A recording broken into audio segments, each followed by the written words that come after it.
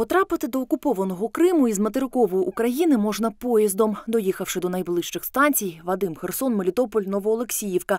А далі діють три автомобільні контрольні пункти Каланчак, Чонгар, Чаплинка. Це єдині офіційні пункти виїзду та в'їзду на півострів. Два базових питання порядку денного 4 червня Кабінет міністрів України затвердив новий, запропонований Держприкордонслужбою порядок перетину адміністративного кордону з півостровом. Українці зможуть поїхати до Криму та виїхати з нього, показавши паспорт. А от у іноземців та осіб без громадянства має бути спеціальний дозвіл, який треба отримати у територіальному органі Державної міграційної служби. Притому усіх, хто перетинає кордон, буде внесено до відповідної бази даних. А ще прикордонники можуть відмовити, на яких підставах розповів керівник прес-служби відомства Олег Слободян. Якщо громадянин е, подає на паспортний контроль недійсний документ або підробний документ, якщо стосовно нього є інформація в базі даних, що йому з тих чи інших причин заборонено перетинати як державний кордон, так і адміністративну межу, а також е, у випадку, якщо е, візит чи виїзд цього громадянина суперечить національним інтересам України. Для законослухняних громадян цей порядок буде тільки допомагати перетинати адмінмежу у встановлених пунктах. Голова Державної служби України з питань Криму і Севастополя Аслан Омер Кремли нещодавно відвідав Херсонську область та пункти пропуску через адміністративний кордон з Кримом.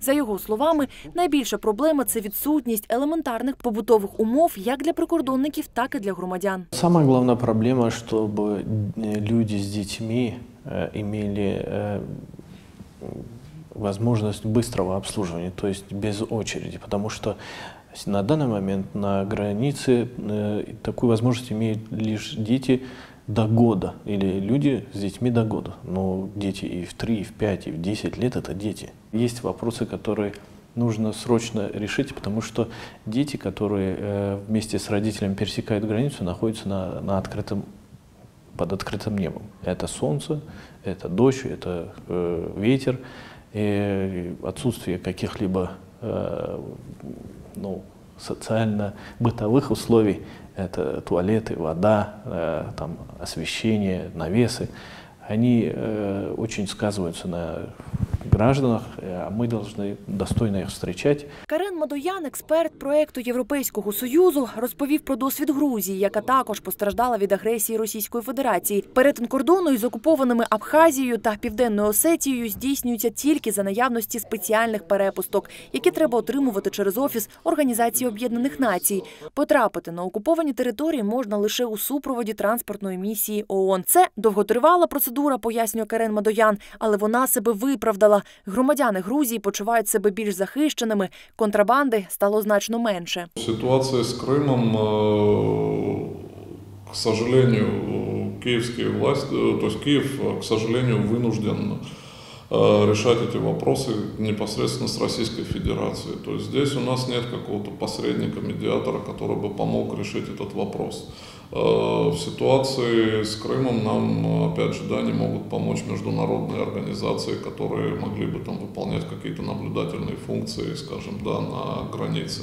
Кримчанин та український патріот Олексій змушений приховувати своє обличчя від телекамер журналістів Кримреалії. Однак він розповідає свою історію. Щоб якось вижити та прогодувати родину, колишній бізнесмен заробляє перевезенням людей на материк. Чоловік розповідає, останнім часом його клієнти скаржаться на дії українських прикордонників та митників. На выезде из Крыма проблем особых нет. А вот при въезде всегда можно столкнуться с разного рода проблемами. Вот на прошлой неделе на украинском КПП мне пришлось простоять ну, чуть больше пяти часов.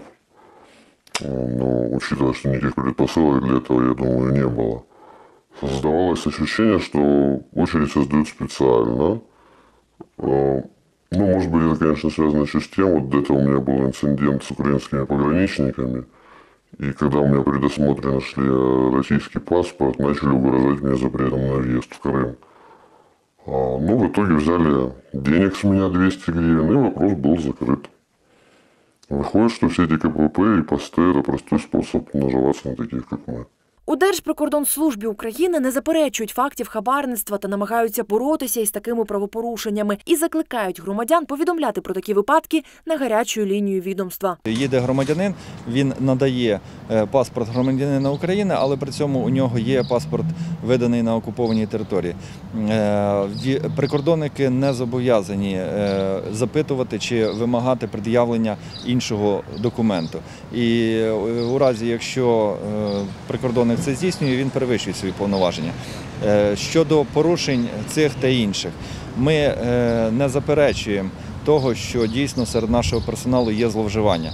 Інша справа, що ми активно боремося із цими зловживаннями і просимо громадян, громадські організації нам в цьому плані допомагати. Марія Дуб, Сергій Швець з Криму.